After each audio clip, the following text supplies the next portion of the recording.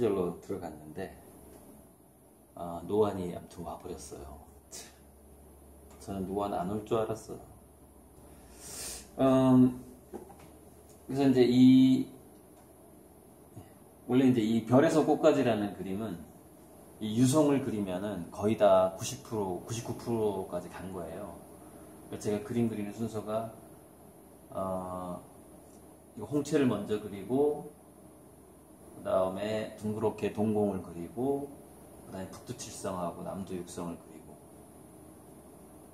근데 제가 남두육성에서 항상 유성우가 내리도록 그림을 그려요. 그 왜냐면 고구려 신화를 갖다 쓰는 거예요.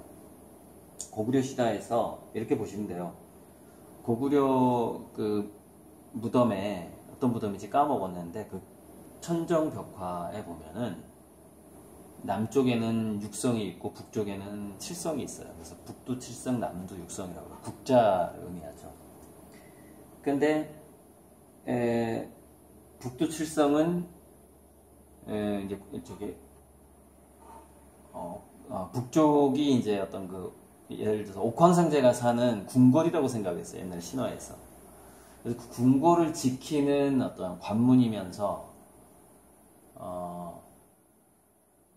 군, 궁궐을 지키는 하나의 그러니까 뭐 음, 장성급, 장관급의 어떤 그런 별들이죠. 어, 문관, 무관 뭐 이런 식으로 그런 이름들을 갖고 있어요. 그그 뭐그 옆에는 어, 궁궐을 지키는 큰 그 사냥개, 예, 사냥개 뭐 별자리도 있고 그런데 예, 고구려 별자리를 보면 그래요. 근데 남두 육성의 신화가 어, 더 재밌어요. 뭐냐면은 남두육성은 제가 남두육성을 항상 그리는 이유가 남두육성이 현세의 복을 의미해요. 그러니까 북두칠성은 내세의 복을 좀 의미하는 편이에요. 근데 저는 이제 그걸 다 어떻게 해석을 했냐면은 어, 북두칠성은 정신적인 에, 어떤 영혼의 에, 풍요로움 뭐 그런 것들을 의미한다고 생각하고 남두육성은 물질적인 풍요로움을 의미한다고 해석을 한 거죠. 제 나름대로. 그래서 그 신화적인 것을 제가 신화적인 거를 그림에 에, 잘 그려보거든요. 어, 그래서 뭐 황금사과 시리즈도 그 신화 일종의 그 서양 신화하고 마이더스의 신화 등등등 어, 최근에 이렇게 발견된 신화들도 그 새롭게 만들어지는 신화들도 있잖아요. 그래서 뭐 황금사과는 제가 닐 도널드 월시의 그 뭐 내일의 신이라든가 신과 지구로라든가 이런 책들을 보면 거기에 신화가 나와요. 그, 그 닐 도널드 월시하고 대화하는 그 신이 직접 해준 얘기죠. 그 이 우주를 신화로 비유를 해서 얘기를 하거든요. 그래서 그 신화에서 모티브를 딴 게 황금사과 시리즈예요. 그러니까 이 우주는 황금으로 꽉 차 있었는데 차 있었는데 거기에 빈 공간을 만들기가 그렇게 어려웠다는 것이죠. 그러니까 우리가 space라는 것은 이 빈 공간이라는 것은 뭐 넓다 할 때 spacious 그러는데 빈 공간이라는 것은 원래 황금보다 귀하, 귀하다는 신화거든요. 이 우리가 여지라고 그러죠. 여지, 여백, 틈. 어, 제가 두 번째 개인전 할 때 생명, 숨, 움, 툼이라는 주제로 전시를 했었어요. 어, 그 틈, 틈이라는 게 너무 중요하다. 그 여백이라는 게 우리가 그 사람과 사람의 그 거리라는 게 중요하잖아요. 그 친밀한 거 꼭 좋은 게 아니잖아요. 뭐 그런 그런 여러 가지. 어, 어쨌건 뭐 그게 이제 황금사과 제가 그리는 황금사과 시리즈의 음, 신화 신화고 그 빈 공간과 여백 그리고 빈 공간은 아름다운 생명으로 채워지게 된다라는 그런 어, 그런 신화를 표현한 게 황금사과 시리즈인데 이거는 남두육성이 남쪽에 은하수에 걸쳐 있어요. 별자리를 보면은. 근데 그 이제 은하수를 우유에 비유하죠. 우유, 밀키웨이. 근데 은하수를 우유로 보는 것은 서양 신화도 신화에도 있고 동양 신화에도 나와요. 동양 쪽 저쪽 어, 특히 우리 우리 조상들이 살았던 지역으로 보는 그 시베리아 쪽에 예, 그쪽에 보면은 그 밀키웨이가 어, 우유라는 신화를 어, 우유일 수도 있다라는 그런 이야기가 서양하고 공유를 해요. 그런데 어, 밀키웨이를 또 뭐 미리네라고 하기도 하는데 그거는 용이 사는 음, 강이라는 뭐 그런 뜻으로 저는 해석을 하는데 또 밀키웨이를 그 보석들이 박혀 있는 것으로 해석하기도 한단 말이죠. 그러니까 무슨 얘기냐면은 남두육성이 가진 신화적인 의미는 하늘의 우유, 즉 먹을거리를 의미해요. 그 다음에 보석, 어, 어떤 부를 의미합니다. 화폐. 그것을 떠주는 국자예요. 그게 남두육성이에요. 북두칠성이라는 것은 좀 정신적인 풍요로움을 떠주는 국자예요.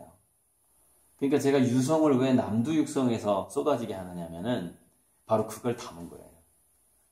어, 운석이 왜 한 덩어리에 뭐 1, 2억씩 하잖아요. 아무튼 제가 굉장히 뭐냐면은 좀 약간 기복적이긴 한데 근데 저는 그림이 어, 집안에 거는 그림은 또는 회사 사무실에 거는 그림은 어, 신화적으로 굉장히 좋은 뜻만 담을 필요가 있다는 생각을 하거든요.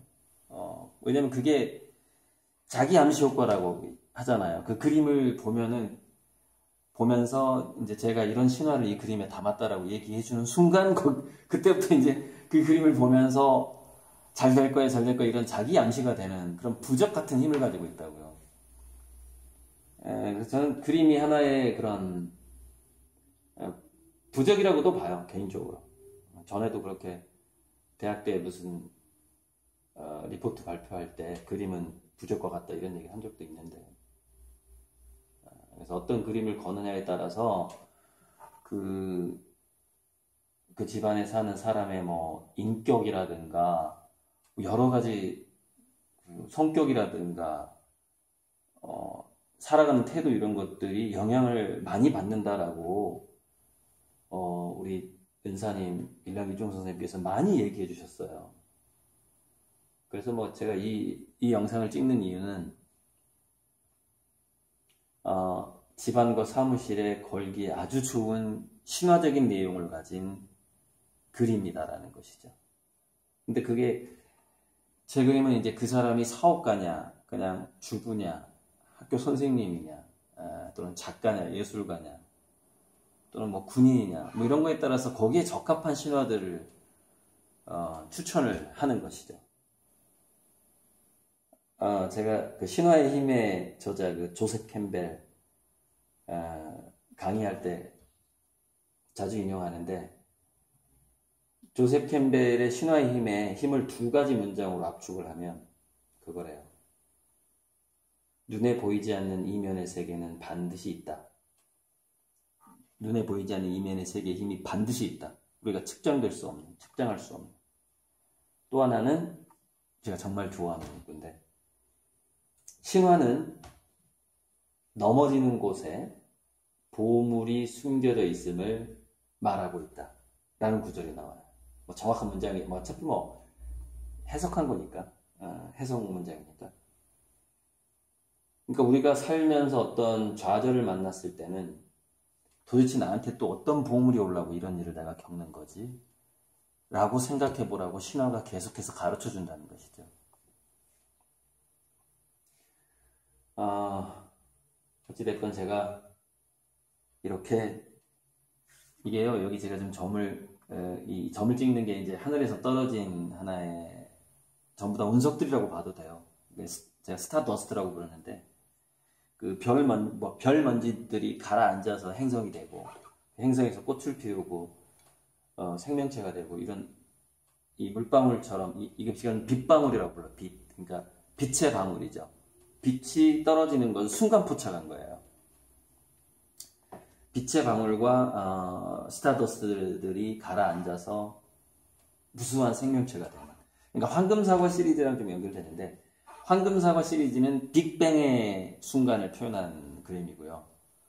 어, 별에서 꽃까지는 초신성 폭발 이후에 예, 초신성 폭발과 이미 그 우주가 형성된 은하계가 형성된 이후에 행성이 형성되는 과정, 그리고 행성에서 생명체가 생겨나는 과정을 표현하는 게 별에서 꽃까지예요. 빅뱅을 표현하는 게 이제 황금사과 시리즈고요.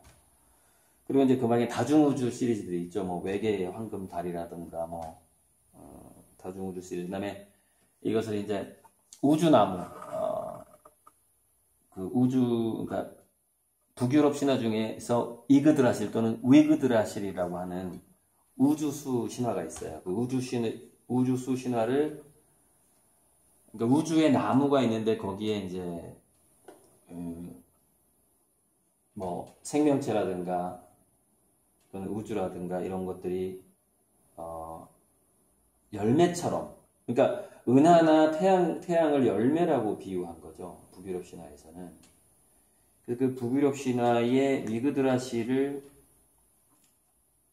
어, 염두에 두고 그린 게 감각의 정원 시리즈인데 저거예요. 이 그림이죠.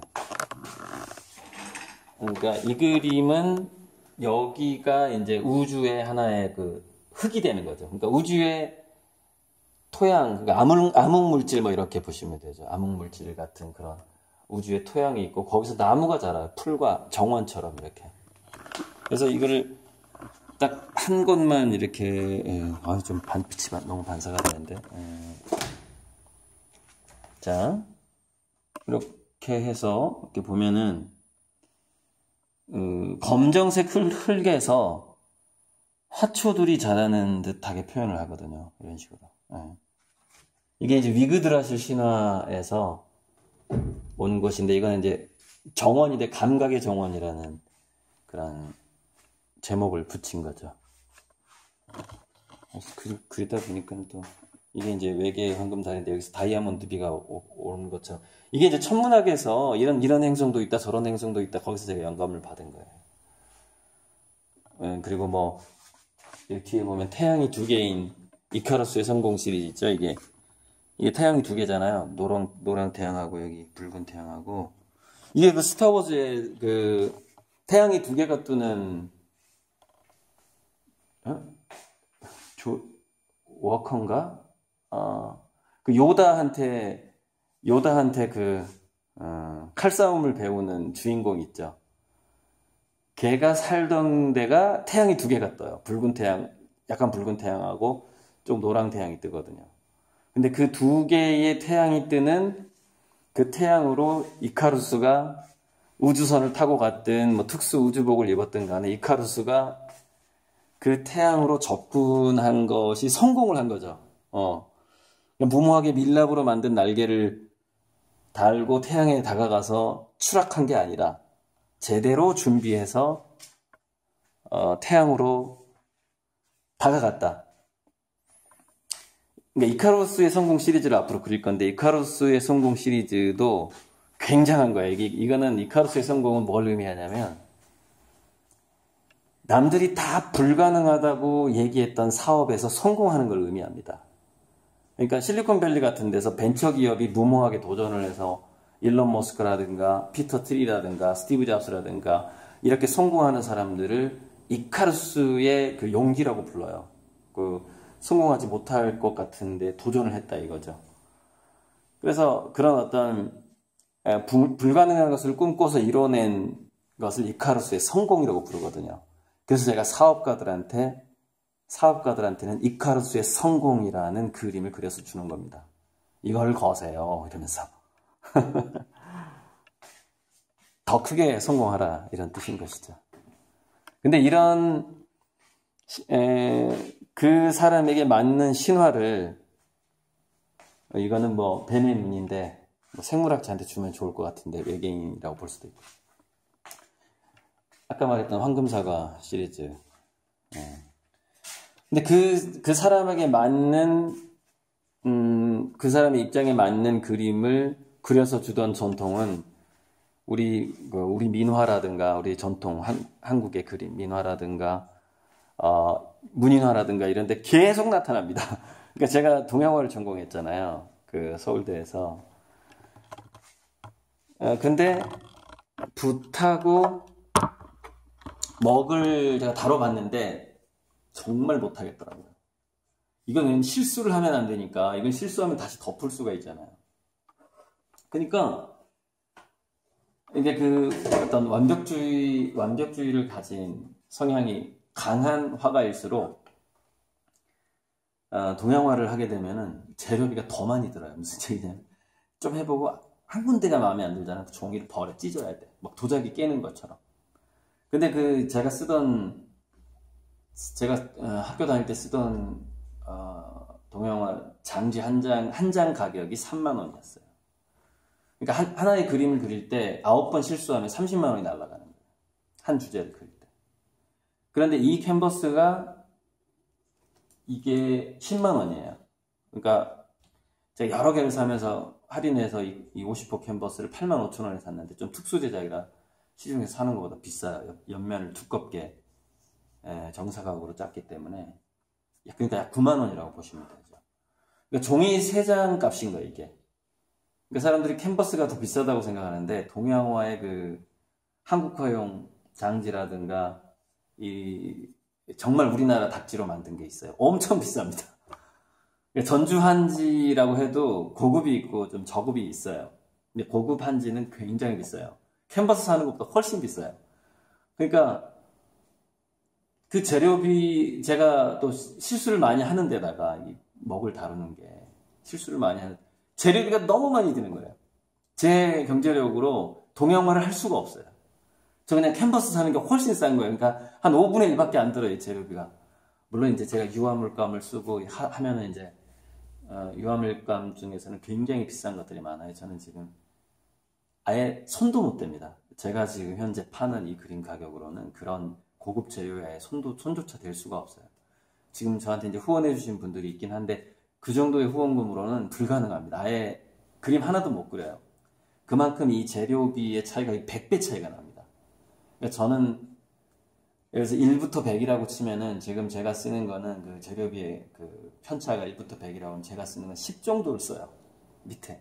그 제가 앞으로 어, 더 고급 재료를 쓰고자 하는 그 욕망이 얼마나 많겠어요. 어, 얼마나. 얼마나 더 멋지게 하고 싶겠어요. 근데 어쨌든 지금 제가 처한 환경에서 어, 정말 가장 그래도 굉장히 좋은 뜻을 신화를 최대한 담고 신화의 힘을 믿기 때문에 그 신화의 힘은 보이지 않는 세계에서 나를 도와준 힘이 반드시 있다. 또 하나 내가 좌절을 겪더라도 거기에는 어, 숨겨져 있는 보물이 있으니까 자기가 넘어진 곳을 창피하다고 그냥 떠나지 말라 이거예요. 좌절을 했으면은 어, 실수를 했으면 그거를 용기 있게 맞이하고 그걸 해결해 나가야 됩니다. 거기서 보물을 발견하게 되거든요. 어, 제 그림도 그렇게 이, 이 눈동자의 전체 그림도 제가 이혼과 파산을 겪고 외롭게 시골에서 혼자 응거할 때 이 아이디어가 떠올랐거든요. 아 나는 이 그림을 해야 되겠다 이렇게. 그러니까 저도 조셉 캠벨 이야기처럼 넘어져 넘어진 상태에서 보물을 발견한 거야.